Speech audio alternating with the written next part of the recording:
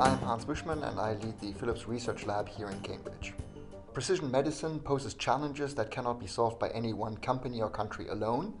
Transatlantic collaboration in this space has the potential to leverage the best of the talent in France, in the United States for these very difficult questions.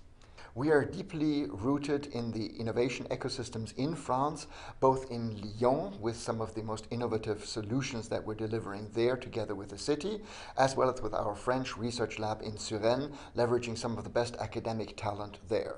And on the other side of the Atlantic, here in Cambridge, my research lab is trying to integrate itself into the fascinating and vibrant ecosystem, leveraging the presence of industry, best-in-breed academic institutions, as well as luminary clinical partners, all within walking distance.